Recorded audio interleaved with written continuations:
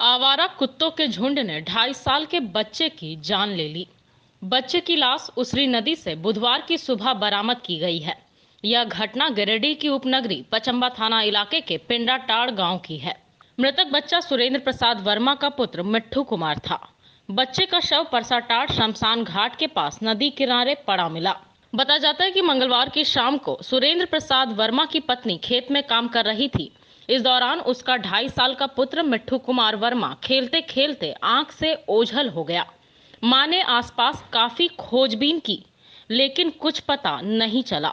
घर वालों के साथ गाँव के कुछ लोग भी खोजबीन करना शुरू कर दिए, लेकिन कहीं भी कुछ सुराग नहीं मिला। ऐसे में रात नौ बजे इसकी सूचना थाना को दी गई। पुलिस भी रात में इसकी जाँच पड़ताल करती रही। इस बीच बुधवार की सुबह जब मछुआरे नदी में मछली मारने गए थे इस दौरान मृतक मिट्ठू का शव नदी किनारे देखा गया। मछुआरों ने इसकी सूचना तुरंत स्थानीय मुखिया प्रतिनिधि को दी, जिसके बाद इसकी सूचना पचम्बा थाना प्रभारी को दी गई। मौके पर थाना प्रभारी शर्मानंद सिंह भी पहुँचे और मामले की छानबीन की। परिजनों ने पुलिस को बताया कि संभवतः कुत्तों ने ही बच्चे को मारा है। परिजनों ने शव का पोस्टमार्टम करवाने से भी इनकार कर दिया है।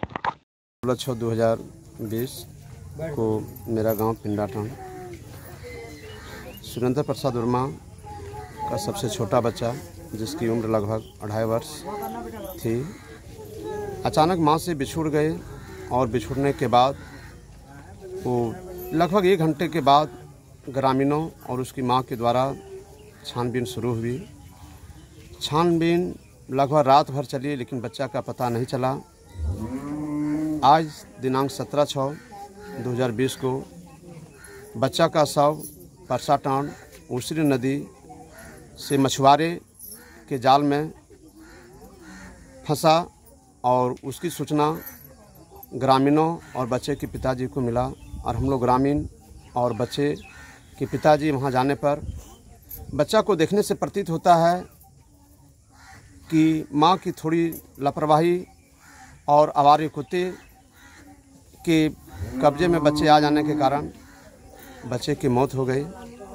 यह एक बहुत दुखद घटना है और मैं हर माँ से कहना चाहूँगा कि अपने बच्चे के प्रति सतर्क रहें और ध्यान दें, क्योंकि आवारे कुत्ते की संख्या बढ़ चुकी है और बच्चे पर ध्यान देने और सतर्कता बरतने से ही हमारे बच्चे सुरक्षित रह सकते हैं।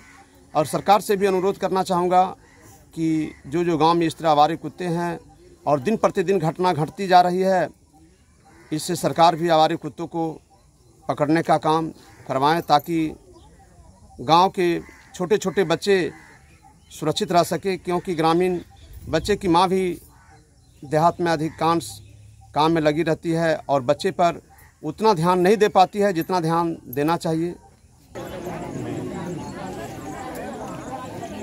कौन जगह है उसको जहाँ पर खितिया है उसका बगिया बोलता है। लेदरी लेदरी।